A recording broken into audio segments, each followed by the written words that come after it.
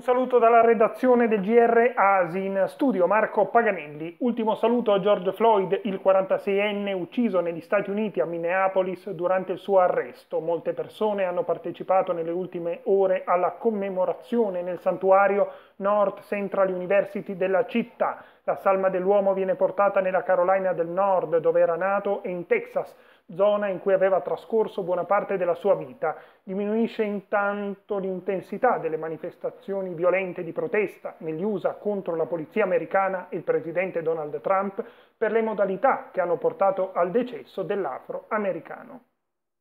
Veniamo in Italia, la sindaca Virginia Raggi ripristina la legalità, ma i membri del clan la minacciano. Il consigliere capitolino Paolo Ferrara commenta così il post di un account che, riferito alla prima cittadina di Roma, recita Vuoi mettere in strada 20 famiglie italiane? L'attenzione mediatica e la scorta spariranno tra un anno e tu tornerai ad essere una nullità, ma il tuo nome resterà scritto nel libro nero dei camerati che hanno una buona memoria.